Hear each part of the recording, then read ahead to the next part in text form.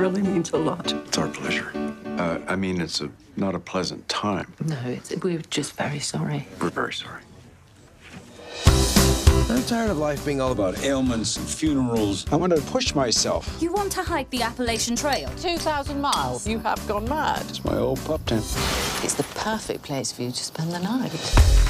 2,000 people a year try to do this. Less than 10% make it. Fit people in their 20s can't do it, Dad. You'll need a rain cover too. Rain cover? Why? To keep out the rain.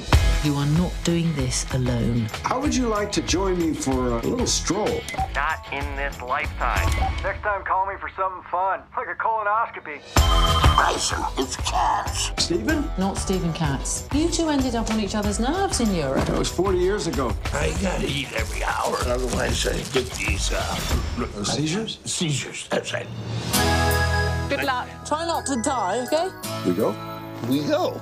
Good. What goes up must come down. What the hell happened to down? John Muir once said sometimes a man just has to get a loaf of bread and throw it into a sack and jump over the back fence. You okay? Never better. You guys camping here? No, we live here. How can I help you? We like a cabin? You know what your problem is? You're too fat. Look at this. We're not even halfway there. No way that's to scale. Map to scale. That's it. New plan. You want to drive the Appalachian Trail? I came out of here to be with you. One last adventure before it's too late. You can do whatever you want, but this is my adventure. Fine. That's the spirit. This is not like yesterday. Kathy seems great, but one woman all these years, Well, that can't be good for you. you know, I'm sorry we lost touch. And me too.